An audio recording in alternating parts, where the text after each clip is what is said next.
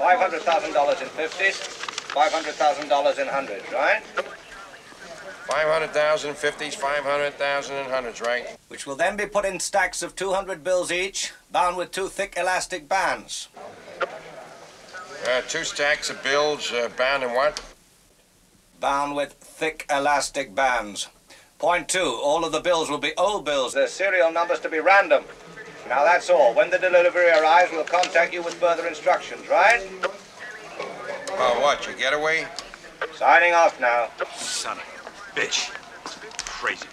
Hey, Pelham, might interest you to know I figured out how you're gonna do it. Yes, it would interest me very much. You're gonna make every man, woman, and child in New York City close their eyes and count to a 100, right?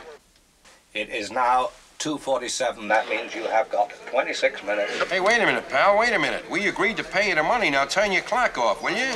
26 minutes. Look, pal, your instructions were complicated. The money has to be counted, stacked, tied, transported uptown. It just isn't physically possible. You'd be surprised what's physically possible. Your clock's running. 26 minutes. After that, we can start scratching them off one per minute.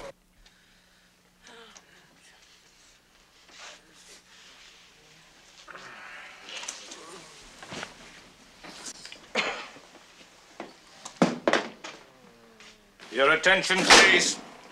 Ladies and gentlemen, might interest you to know the city of New York has agreed to pay for your release. As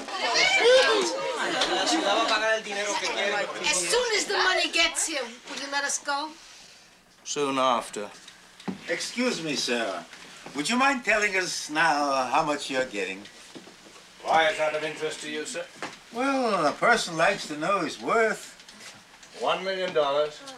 That's not so terrific.